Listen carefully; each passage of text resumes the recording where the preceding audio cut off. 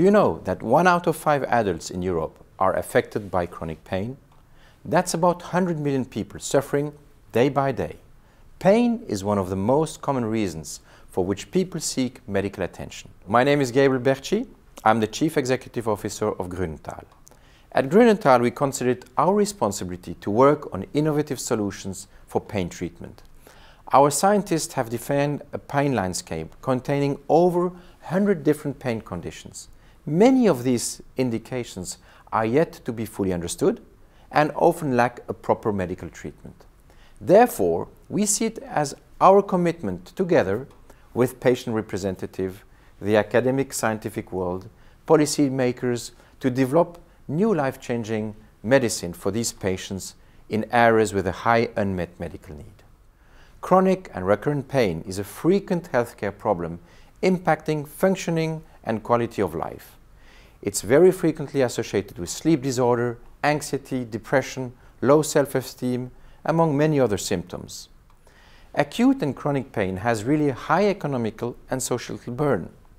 Very often, adequate pain treatment is not available or not accessible. Pain is a condition for which expertise is spread unevenly across EU member states, and there will really be added value to improved cooperation. Patients, for example, dealing with complex regional pain syndrome, bladder pain, vulvodynia, spinal injury, very often have insufficient access to or inadequate pain treatment. Sometimes there is just no therapy available. Better pain treatment plays a key role in lifting the burden not only for the individual patient but also for society. Hurdles for patients to access adequate pain therapy include lack of training of medical professionals, restricted resources and restricted access, cultural attitudes which are different uh, by country, as well as regulations and policy not necessarily addressing the societal impact of pain. However, these hurdles are not unconquerable. They can be addressed by working together.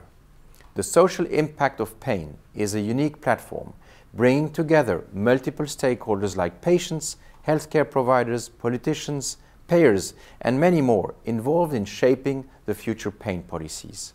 The SIP platform raises awareness for the impact that pain has on society.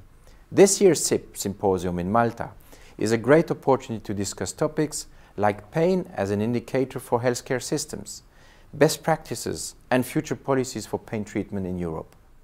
The excellent cooperation of all SIP partners is a benchmark for national and European initiative to strive for a consistent pain policy.